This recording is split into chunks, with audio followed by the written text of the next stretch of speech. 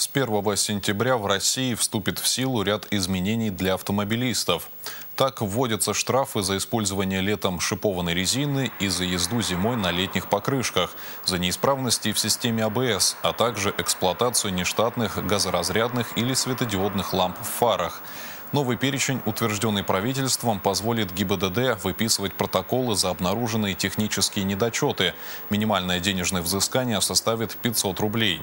С 1 июня по 31 августа будет запрещено использование шипов на колесах, а с декабря по февраль не допускается ездить на летней резине. Относительно световых приборов действующий перечень не позволяет использование транспортного средства, у которого они не функционируют должным образом или загрязнены. Также вводится запрет на заезду с неработающей системой АБС, неисправность которой будет определяться по индикатору на приборной панели. Правила обеспечения обзора с места водителя также будут скорректированы.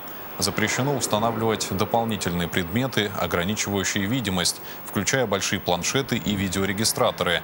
Важным нововведением для водителей авто с газобаллонным оборудованием станет запрет на эксплуатацию транспортного средства без специального знака на кузове.